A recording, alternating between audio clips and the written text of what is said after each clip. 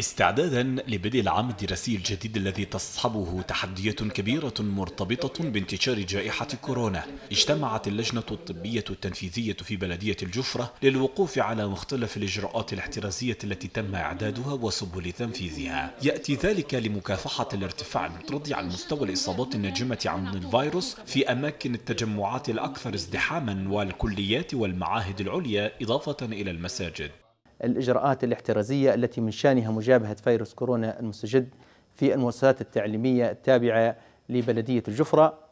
ومدى جاهزية هذه المؤسسات ومدى توفر المستلزمات الخاصة بمجابهة فيروس كورونا المستجد سواء كان من الكمامات من المطهرات من المعقمات من آه، أحواض الغسيل من آه، توفر عدد من المشرفين آه، الصحيين والأخصائيين الاجتماعيين. تطرقنا في هذا الاجتماع لعمل دورات تدريبية مع فرق الرصد والتقصي والمشرفين الصحيين والأخصائيين الاجتماعيين بالمؤسسات التعليمية.